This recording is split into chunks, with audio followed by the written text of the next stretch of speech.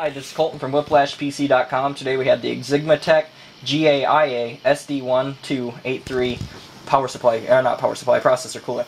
Uh, it's Phenom 4 compatible. It's also X6. It supports the i3, the i5, the i7 series, and it probably supports other Intel series processors. All Intel 775 it says, all Intel socket 1156 and 1366, all AMD socket K8, 754, 939, 940, all AMD socket AM2, AM2 Plus, AM3 CPUs.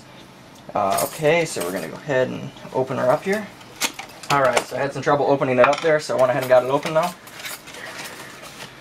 Alright, as you can see, it comes with all the mounting tools and screws that it requires to come with it. The AM3, the Intel, and all that.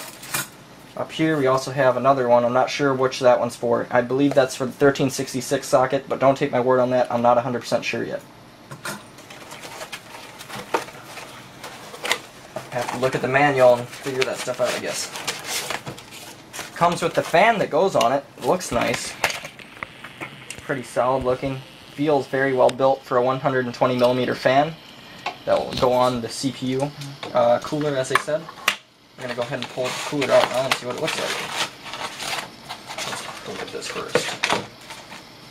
This is the installation guide. It's basically going to show you how to install the fan and how to bolt it on to your motherboard if you have an AM3 or whatever socket that you have. It will cover you up.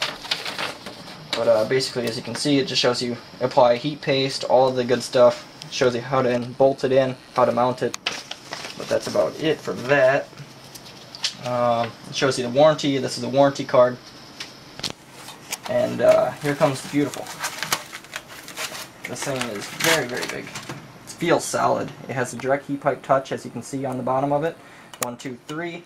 Feels solid. Um, once I put this on, you can just kind of imagine it being somewhere along the line of that. Looks nice. It should go in the case. Very nice.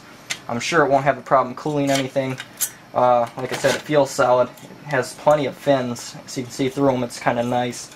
The heat pipe touch, I'm going to go ahead and install it, and I'll probably post a video of what it looks like installed and how it runs. So be sure to check that out. Alright, this is the inside of the case. As you can see, the fans are running. I have a Xigmatek 120mm AM3 processor cooler on it. I Hey, thanks for viewing this video. If you like it, uh, go ahead and thumbs up it below and subscribe above. Thank you.